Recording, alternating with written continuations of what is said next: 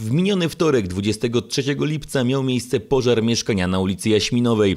Jeden ze świadków zdarzenia, mężczyzna mieszkający w Jaworznie, chciał pomóc i próbował interweniować. Na miejscu byli już jednak funkcjonariusze w osobie policjanta i strażnika miejskiego, którzy prowadzili już czynności. Doszło do dużego nieporozumienia i mężczyzna został obezwładniony przez funkcjonariuszy oraz zatrzymany. Ojciec zatrzymanego mężczyzny uważa, że funkcjonariusze postąpili niesłusznie oraz przekroczyli swoje uprawnienia. z przyjaciółmi zobaczyli, że się pali e, gdzieś tam e, w bloku mieszkanie. Syn zainterweniował, biegnąc, bo chciał, no tak każdy może człowiek chciał ratować mienie, życie i tak dalej. Został e, skuty przez funkcjonariuszy policji i rzucony na glebę, jak to można powiedzieć żargonem policji.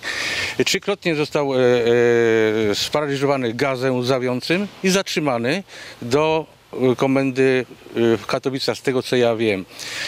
Rozmawiając z jednym z funkcjonariuszy dzisiaj do południa z, pionu kryminalnego, powiedział, że nie ma zarzutów żadnych. To pytam, na jakiej podstawie jest dalej zatrzymywany?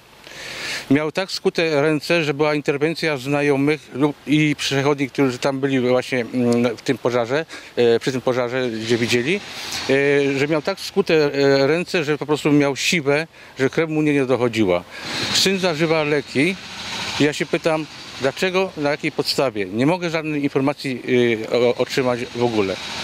Się po prostu martwimy o, o, o syna. Innego zdania jest jednak jaworznicka policja. Jak informuje nas sierżant sztabowy Justyna Wiszowaty z Komendy Miejskiej Policji w Jaworznie, wspomniany mężczyzna został zatrzymany, ponieważ będąc pod wpływem alkoholu utrudniał czynności funkcjonariuszowi policji oraz strażnikowi miejskiemu, którzy byli na miejscu i podejmowali działania w związku z pożarem. Ponadto znieważył ich oraz naruszył nietykalność cielesną wspomnianych funkcjonariuszy, za co zostały przedstawione mu zarzuty z artykułu 222 i 226, przez co groził nawet do 3 lat pozbawienia wolności. Ojciec mężczyzny odniósł się także i do tego, mówiąc nam przez telefon, że jest to nieprawda, a jego syn wcale pod wpływem alkoholu nie był oraz, że są świadkowie potwierdzający ich wersję wydarzeń, którzy w dodatku nazywają jego syna bohaterem.